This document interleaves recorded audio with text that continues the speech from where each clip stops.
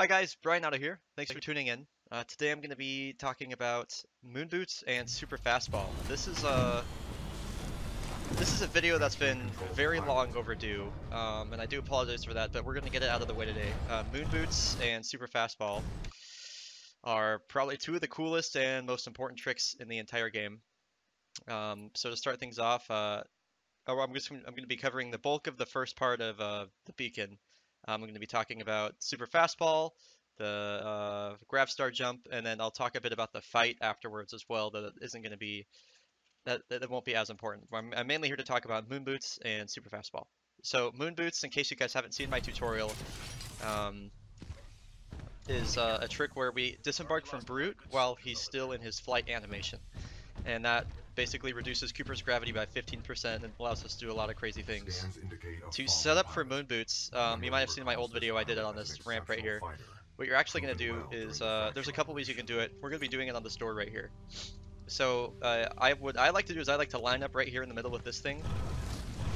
And then you just run straight into the wall, and then you're going to fly, and then we'll disembark. You can also do it in the corner over here, like above these dead bodies, which there is a lot of. Um, some people do that, but uh, I, I, just do it right here. Fly, disembark. Oh, there we go. Um, it can be kind of tricky, so you just kind of have to you have to look for it, and then you'll see that my gravity is greatly reduced, similar to going open the door.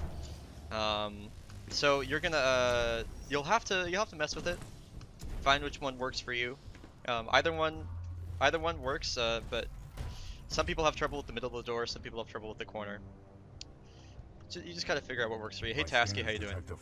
So if you guys have ever, I don't if you haven't seen fastball skip before, what's gonna happen, or super fastball rather, what's gonna happen is BT is literally going to throw us, and uh, we're gonna hold jump, and again, that's hold, jump, hold, and we're gonna fly across literally this whole map. It's it's it's easily the coolest trick in the game, um, if you haven't seen it before. So what I'm going to do it the proper way first off. I'm going to show you how to um, I'm going to show you how to do it the proper way or the most optimized way. And then after that, uh, I will go over backup strats. Okay, so. Wind, three knots. Hi Tasky, how you doing, dude?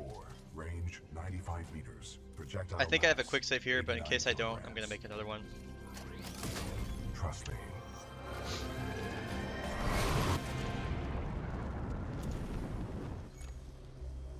Oh, I almost I almost started doing it I've been I've been running a lot of all helmets actually. I I totally strafed that like I was doing all helmets. I'm used to the all helmet super fastball, which is quite different from the any percent super fastball. So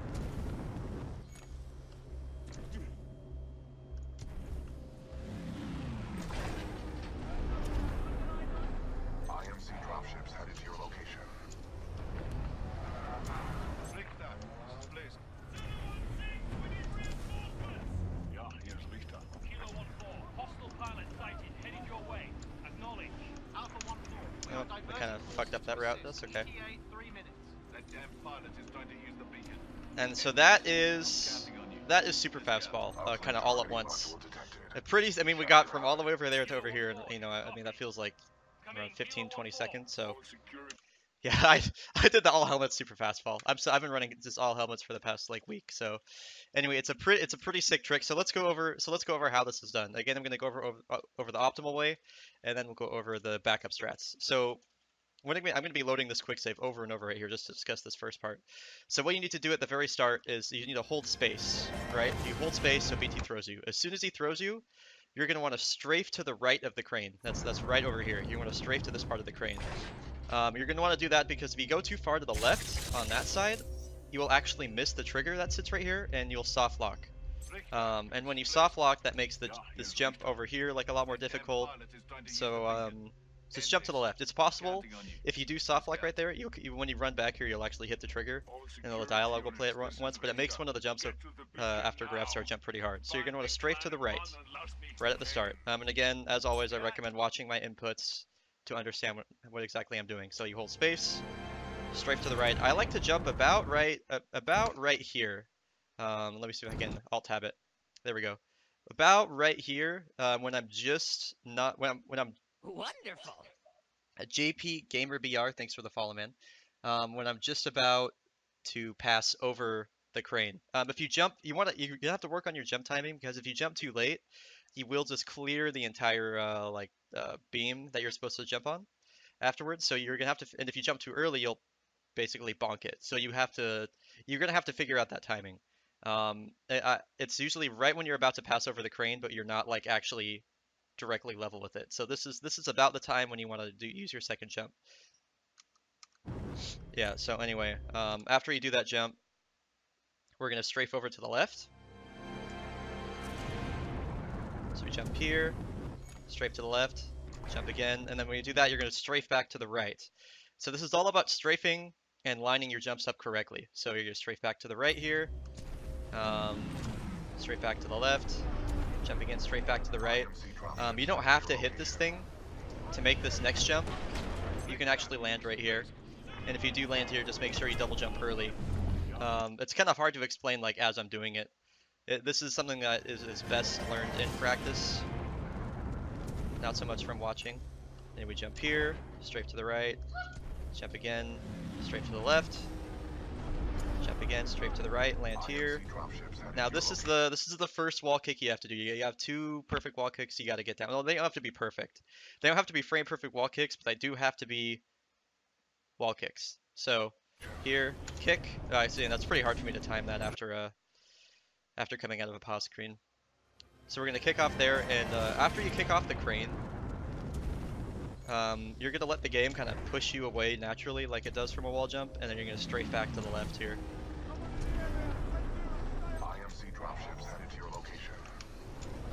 So you so you strafe to the right a bit, and then you strafe back to the left. Um, that's that, that's generally how you want to do it, just to get the most distance. I'll see if I can get this properly again. And like I said, I'm going to be loading this quick save over and over.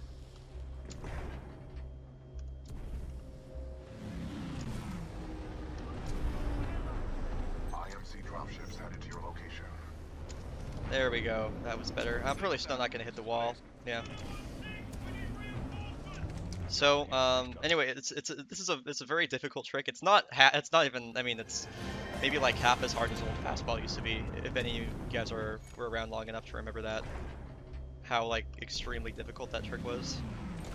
I just know I'm not getting enough speed coming over here, so that's why I'm struggling with it. This is good. There we go. So you straight back to the right, straight to the left, kick off here. Now once you get here, I'm going to purposely mantle here. Once you get here, there's there's a couple ways you're going to have to approach this. So depending on how you kick off the wall, you can land up here, you can land down here, you can land on the railing. Um, no, no matter what you do, you have to be careful because um, the optimal way obviously is to jump straight to this wall over here. Um, but sometimes you won't always have the speed for that, and all, sometimes even if you do have the speed, you won't, you won't be landing in the optimal spot for it. You generally want to land up on top of this black thing, or up on top of here, or uh, you can even land like, uh, you, I, I, usually try and land on the rail. You can also land literally directly next to the rail, which is like, uh, it's kind of hard for me to do it right here, but you, you see how there's like this little gap right here between the rail and you can actually land like on this. I'm going to see if I can get it. Yeah, you can actually slide off this pretty easily.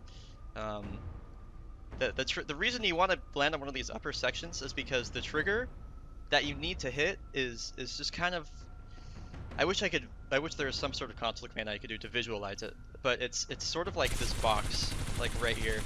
Um, it's anywhere over here.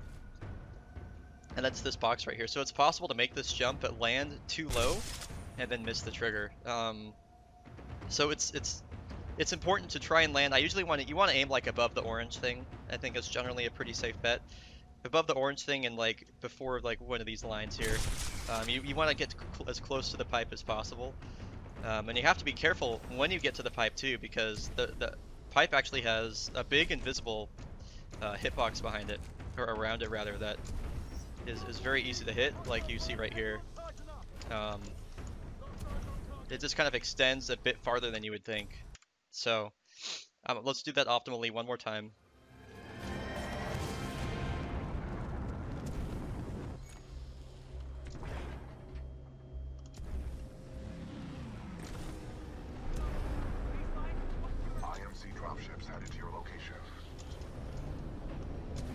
Should be able to hit the upper part this time. I don't think I'll be able to. That's fine.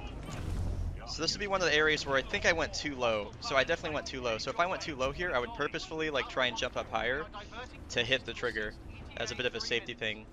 And we'll know if I soft locked or not because when we come over here, if the this Marvin is there, if the Marvin isn't there, that means we missed a trigger and we soft locked. So um, we'd have to actually retroactively, after doing the grav star jump, go back there and hit the trigger. So anyway, so let's uh, let's talk about alternate routes and backup strats. So there's a, there's a there is a safer way to do this. Um, that doesn't if you don't want to make that big jump and take the risk of uh, you know not getting the or get not or take the risk of getting the soft lock. You can actually come over here. IMC dropships added to your location. So let's purposely hit this a bit early. So you'll actually come down here, jump here. You actually probably want to slow yourself down with S. There. And so that guarantees you hit the triggers. It's not that much slower, and it works out. Um, and again, you can also come over here and get this part, and then just like climb up here, land here, and then just do this the slower way. I mean, that's another safe way to do it. It just kind of it just kind of depends on your comfort level and your confidence and your skills. Um, even if you get like even if you get stopped right here, it's pretty easy to wall run off this thing, and then you can actually just uh, end on the corner. And again, guarantees you hit the trigger and you don't soft lock. And now if we come over here, we will see the Marvin. Uplink targeting module detected. Check your HUD. And you see there's the Marvin. So again, the Marvins won't load in if uh, if you soft locked. So um, yeah, there lot, lots of different. Uh, I, have talked about this in my previous tutorials, but but the key to being good at this trick and at this level, aside from being good at air strafing, is understanding what your options are, no matter what mistake you make, um, or no matter what situation you're in. It's probably a better way to put that. So like if you're like if you're thinking, oh no, I didn't get this fast enough, so you come over here, you gotta slow yourself down, and you make the jump. So there's another example. So let's say you do super fastball, and you've messed up. You're on a really good run, but oh no, I've, I've messed, I've made a mistake. Oh, I didn't time my jump well. Oh gosh me, what do I, what do I ever do now? So let's say you've messed it up right here. So the first thing I'm going to tell you is don't touch the cranes. Don't move the cranes, don't touch the cranes, don't do anything. Cranes are slow. Think of the cranes as lava, okay? So starting from right here, this should be able to give you an optimal way to get over to there as fast as possible. So um, starting from here, we'll do we'll take a slide hop off here. Come over here. And uh, we'll be you'll line up next to the scaffolding here. And you're just gonna slide hop off and we're gonna air strafe to the left to hit that pipe. So, yeah, actually, we'll just slide off. Yeah, slide and then jump. Air strafe over to the pipe. Pretty simple. Come through here. Oops, don't double jump there because you'll bonk your head, like me. Come over to this wall. Hop off here. And this is, you know, you can pretty much improvise this anytime you do it. You don't have to follow this exact route. come down here. And then again, you can go through that building if you want. You can go through the building, that's okay. And then normally this door will be open. You can go through the building and come out here, jump around, come down here. In any case, you want to get to this platform here. And then once you get to this platform, you just jump off of it, and then you can strafe over to here. Um, I don't believe you need an edge boost. Um, I believe it is possible to do it without an edge boost, but you're going to want to have an edge boost. And edge boost, of course, is when you jump off the uh, a, a, corner at like the last possible time, and it gives you like a speed speed boost comparable to a uh, wall kick. So I, I think you let me just do it without an edge boost here. So it is possible without an edge boost. You just have to be good at strafing. Gamer Yogi, thank you for the host, man. How's it going? Um, why can't you just go all the way from the first thing until you land on the end? I'm not sure what you mean, Flatza, but I will cover uh, I will cover why we can't just follow that in a sec here. Um, so once you get down here, um, you'll just slide hop off this. You're gonna want to, oopsie, you're gonna want to come over to this side of the wall. Come over here, you jump to the right. Um, so you can't you can't jump on the same angled surface twice, but or the same facing surface twice, but you can if it's like in a curve. So we're gonna come around here. Oops. me wait till I grab the wall again, then we're gonna jump again, and then we'll grab, and then come up here. And now you're over here. And then once you're over here, um, you can actually just do a slide and then jump off this, and then still grab the wall. But it's a it's a really it's that it's a deceptively hard jump. Um, it's a deceptively hard jump, and then I recommend if you're not 100% confident in your air strafing skills, just coming up here, double jump, grab the wall, come around here. So, um, in any case, that is the that is the way to get over here when you mess up fastball. So, um, in, in case you guys are wondering, like, why can't you just jump down here, or why can't you just jump across this thing? Like, why don't why don't you just jump down here? Well, because. So if we come over here,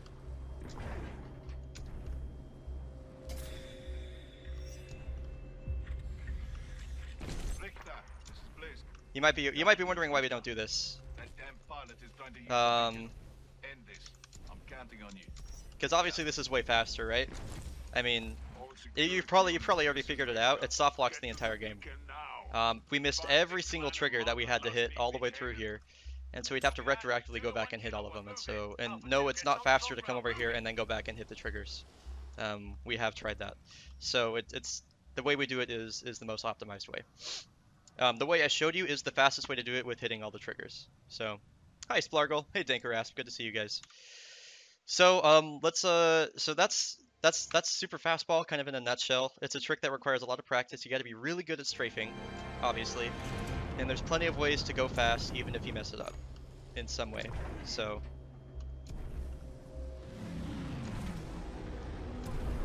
Let me just get this one more time here. Dropships headed to your location. And look at that, I messed up, so I'm gonna have to improvise and come down here. Oh, messed up again. Now let's come across here. It's now the next part of the Beacon 3, the big one, is uh, the Gravity Star Jump. There are uh, a lot of different ways to set this up, or not a lot of, there's a few. It seems like most every runner has their own way to do it. Um, Deception has his own, I know Joshua has his own race stance from here. Um, the one that I use, uh, I actually used to throw the Gravity Star and count, like an idiot. Uh, I use the one that Over Zero does. So Over Zero's is pretty simple. Uh, what we're going to be doing in this jump is we're going to be standing here, we're going to throw the Grav Star right there. When the Grav Star explodes, it's going to launch us all the way over there. And that skips uh, that skips us having to go to the panel and moving the dish over to a place where we can jump to it. Um, and that also requires us to do some other special dances to get back over there without having a dish in the spot where we can jump to it. So um, the, the main part about this setup is that you want to do it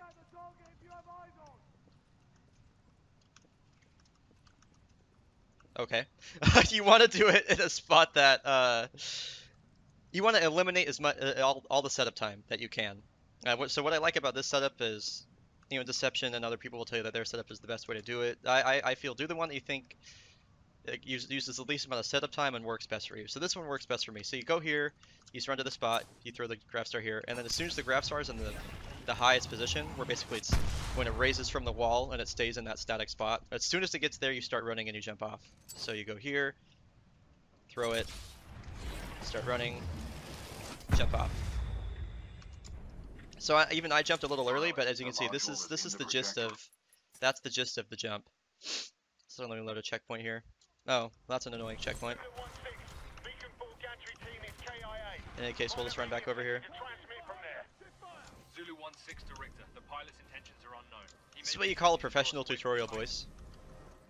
I'm surprised it gave it didn't give me a checkpoint the whole time I was over here. So let's quick save while we're here. All right. So once again, stand here, throw a star here, wait, run.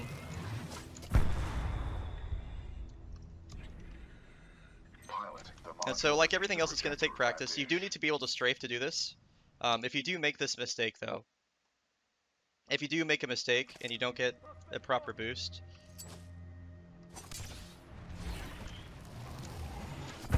Um, I, I would be able to make it with this one, but for the sake of science, you can land here, and then once you land here, there's a couple ways you can get back around.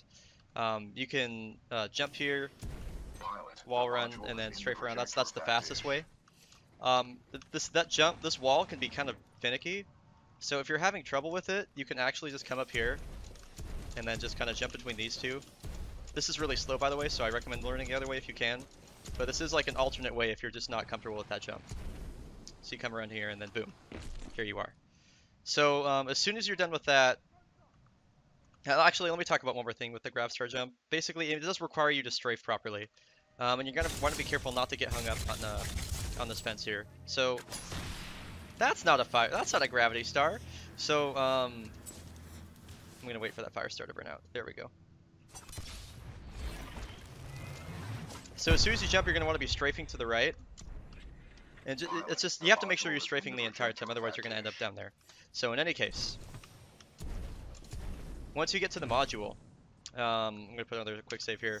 We're gonna be slide hopping off here, and then we're gonna do that sort of thing to get back. Um, it is possible to start the slide as soon as you grab the module out. Uplink targeting module. Disconnected. So Protocol two, mission slide off. Uplink module acquired. Standing There you go. And if you're not confident in doing that one, you can actually just run, like sprint to the very end of the antenna, and then uh, slide and then slide off. The, the the reason it's important to start doing it immediately is you'll notice that um the antenna will actually start going backwards. It's sliding into place. So let's see how it's moving here. So if you're not confident with doing what I just did, you can actually just come down here. Caution. You want to wait till it stops moving, because otherwise it's going to eat your momentum. And you can just slide off. Obviously that is much slower, but that is another way you can do it if you are not 100% confident in your skills yet. So now you're wondering, well, how do we get back over here after we doing the after doing the grav star jump? How does that work? Uh, it's fortunately there's a pretty easy way to do it. There's actually two ways to do it. There's a really fast way that I still do not do in runs due to its difficulty, um, which actually involves another grav star jump, which would be right here.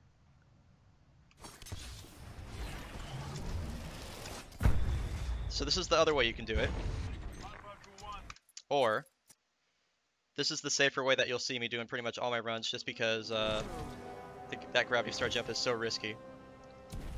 So we're gonna come over here, we're gonna jump we're gonna uh, jump off this pillar. And then not mantle ideally, come up here, come up here.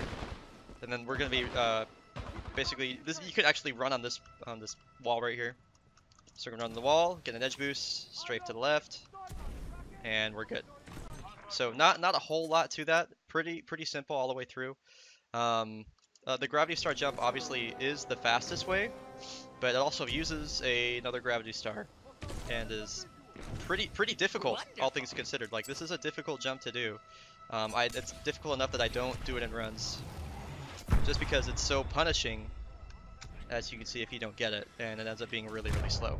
So that is why I don't do that in runs yet. Um, it's still, still something I'm working on.